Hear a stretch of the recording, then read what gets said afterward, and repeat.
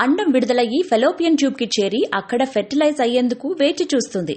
అప్పటికే స్పెర్మ్ అక్కడ ఉంటే కన్సీవ్ అయ్యే అవకాశం ఎక్కువ.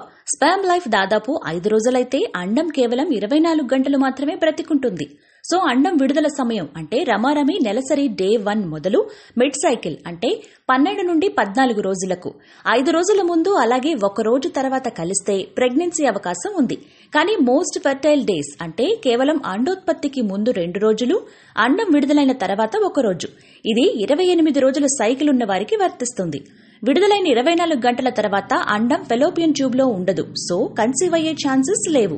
ముప్పై ఐదు రోజుల సైకిల్ ఉంటే పంతొమ్మిది ఇరవై ఇరవై ఒక్క రోజులు ఫెర్టైల్ డేస్. షార్ట్ సైకిల్ అంటే ఇరవై ఒక్క రోజుల ఒవ్యులేషన్ ఉంటే మోస్ట్ ఫెర్టైల్ డేస్ ఐదు ఆరు ఏడు. Subscribe HMB live for daily pregnancy tips.